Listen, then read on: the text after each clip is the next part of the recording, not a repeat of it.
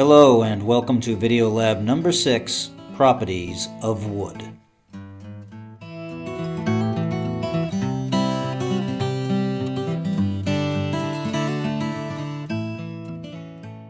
Okay, in today's video lab we're going to test the properties of wood.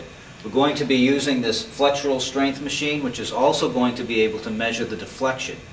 Now some of these tests that we're going to do today are valuable in the field because if we have a large constru if you're a large construction company, for instance, and you order a large amount of Douglas fir, what you'd want to do is grab a couple of samples, measure them up to make sure that they meet the published values of that material.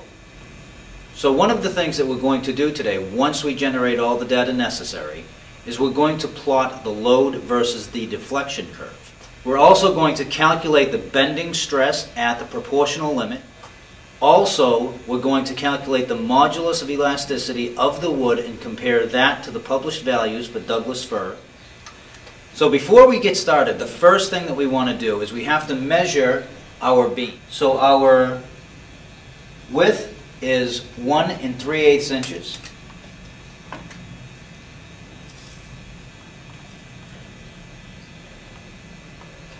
We have a height of 3 and 3 eighths inches and the span has been previously measured at 67 inches.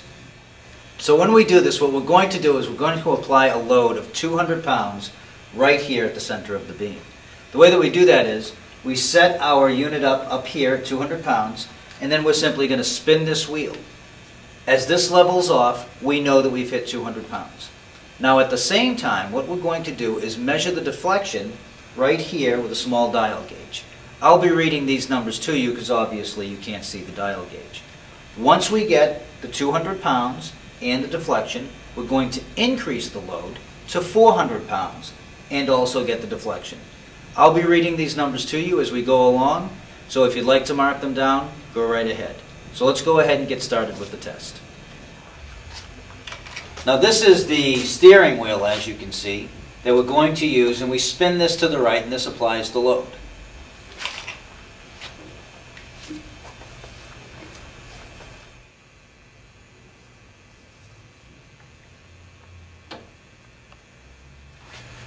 So now we have our first reading at 200 pounds and based on the dial gauge here we have 0.135 inches of deflection.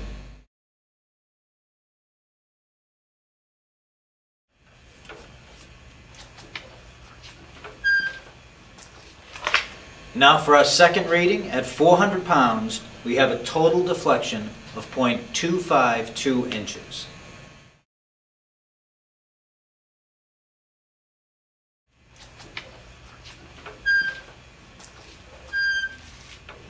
We are now at 1,200 pounds total on our beam. And our total deformation, or our total deflection, is 0.860 inches. And if you take a close look here, you can see that we're well beyond three quarters of an inch in total deflection.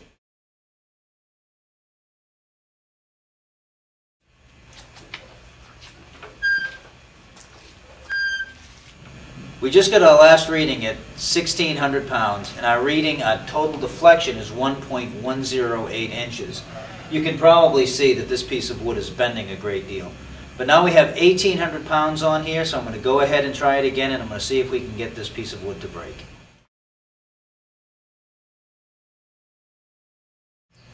So at 1,800 pounds, we didn't get this to crack. Our deflection at 1,800 pounds was 1.594 inches.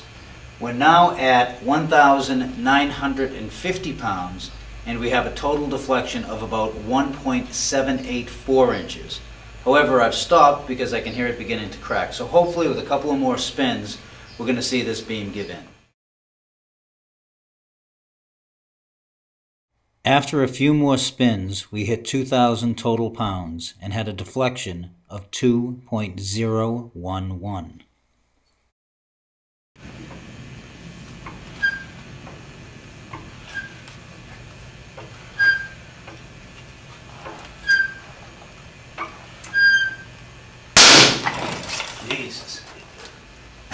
like a gunshot.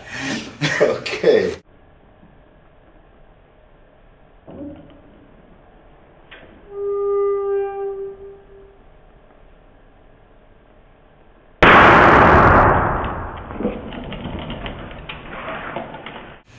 So folks, as you saw, the beam finally broke.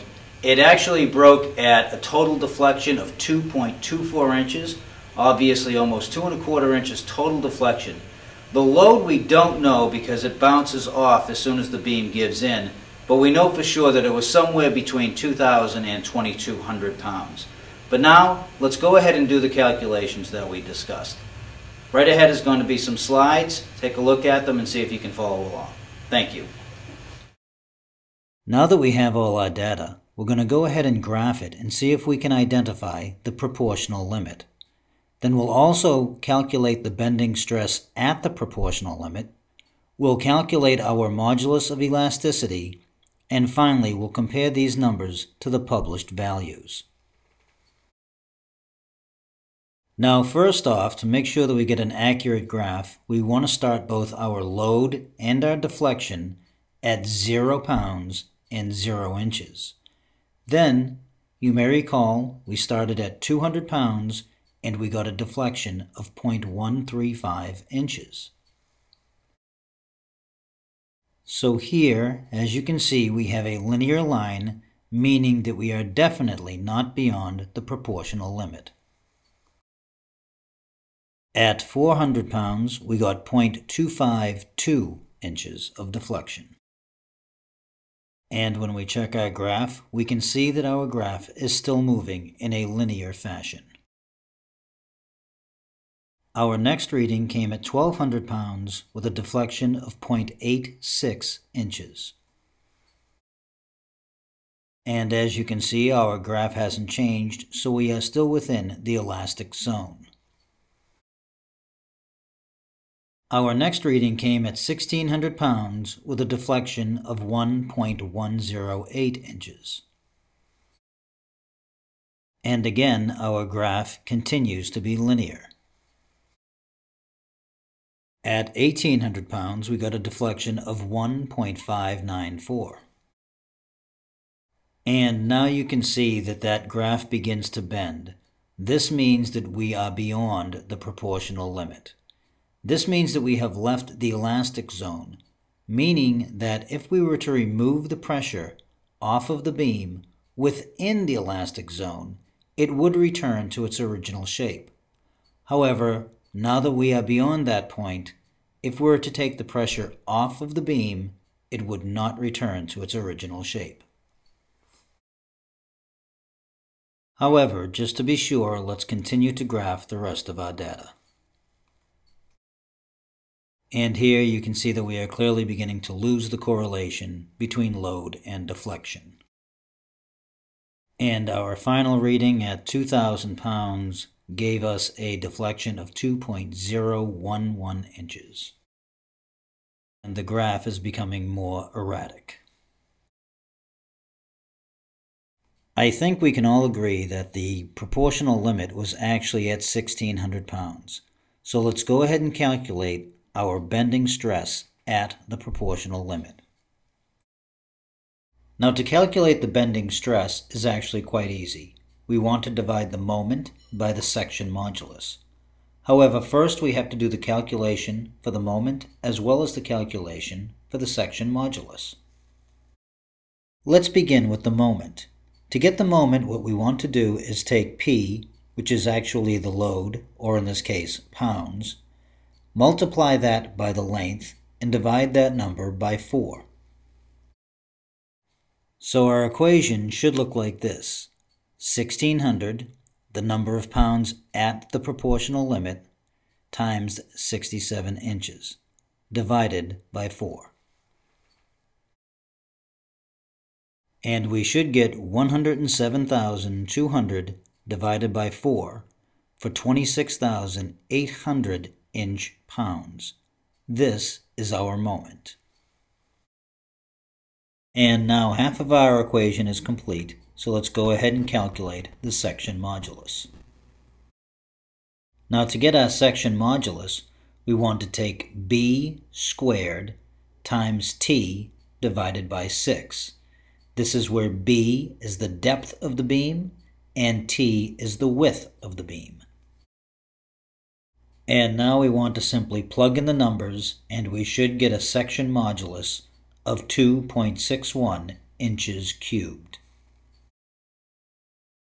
And now our equation should look much easier at 26,800 inch pounds divided by 2.61 cubic inches, which should give us a final result of 10,268 psi, or pounds per square inch.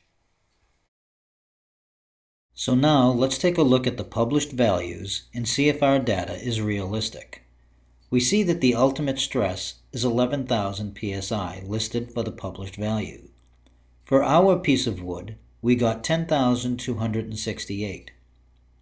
Though the ultimate stress and the stress that we achieved is going to depend upon moisture conditions, species, as well as grade, it is safe to say that our data is reasonable.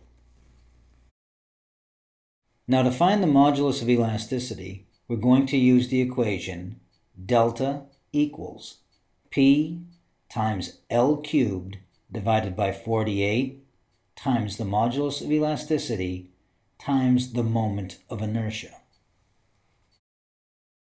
Now believe it or not, this is a lot easier than it looks because delta is deflection, P is pounds, L is the length of the beam, E is the modulus of elasticity, and I is the moment of inertia. So let's think about what we know when that beam hit the proportional limit. First of all, we know that the deflection was 1.108 inches. We also know that the pounds was 1600. We also know that the length was 67 inches. And we're looking for the modulus of elasticity as well as the moment of inertia. And again, let's plug in the numbers that we know. 1.108 is the delta, or in our case, the deflection, and this equals 1600, the load, in our case pounds, times the span cubed. And this is going to be divided by 48 times the modulus of elasticity times the moment of inertia.